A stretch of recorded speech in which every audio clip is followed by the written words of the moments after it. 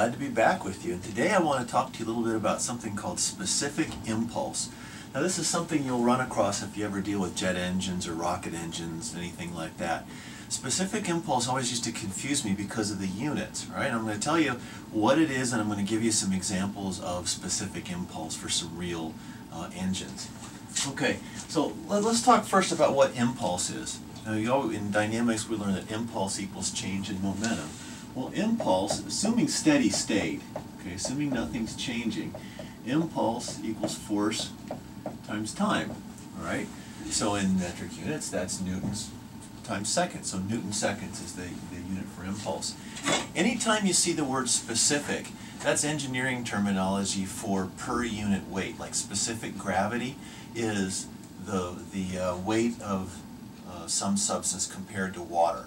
So like gasoline has a specific gravity of a little less than one, so gasoline floats. A brick has a specific gravity of a lot more than one, so it sinks.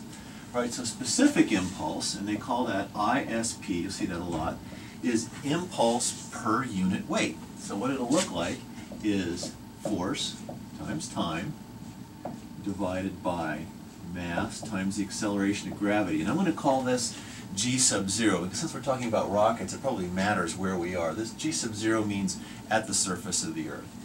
Alrighty, so let's look at the units on this. Well, let's see, we've got newtons times seconds in the numerator. The denominator, we've got kilograms. And then over here, we've got meters per second squared. So I'll put that in here too. And notice something about that denominator, kilogram meters per second squared. That's a newton, okay? F equals ma, well if that's ma, it has to equal that. So that cancels out and your units turn out to be seconds. So specific impulse of an engine, and it's usually related to the fuel use as well, is expressed in seconds.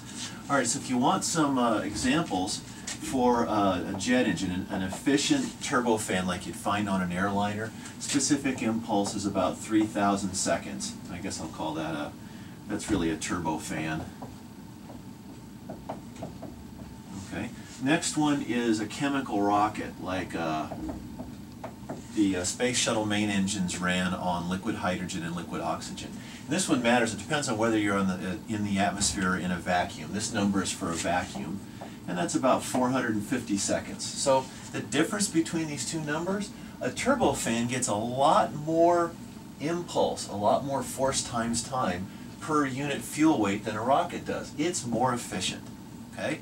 That's why these things can run for hours and hours and hours, and a pretty long burn on a rocket's about 10 minutes. If you've got a rocket engine that's running for 10 minutes, that's a lot. 20 minutes would be just epic, okay? So the ne next thing we're trying to do in uh, powering things in space is with ion engines.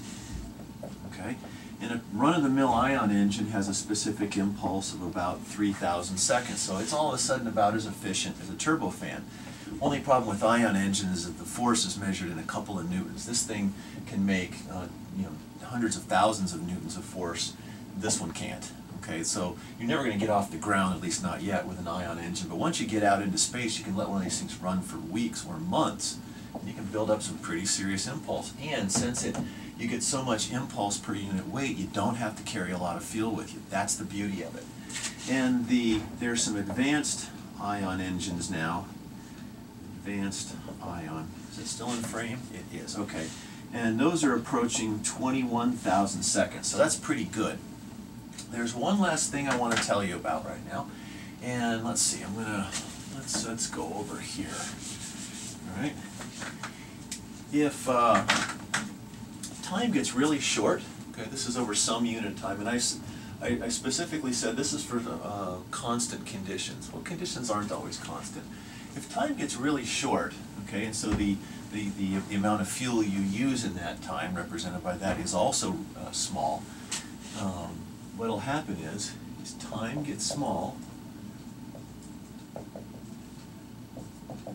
time gets small, then m over t, this is the mass consumed and the time over which it's consumed, starts looking like m dot, and that's dm dt if you want to, want to write it in that uh, form. there's one more thing you need to know. The, the force produced by a jet engine or a rocket engine is the velocity of the exhaust, V sub E, so that's how fast the, the exhaust is moving with respect to the engine, times m dot. Okay, well, that force and that force are the same thing, so let's, let's put that in there.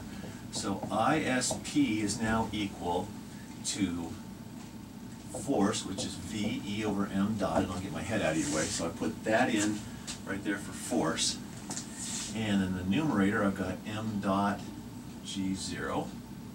Okay, remember that t went away as we went to m dot. That crosses out, it cancels out. And so specific impulse is also equal to the exhaust velocity times the or divided by the acceleration of gravity at the Earth's surface.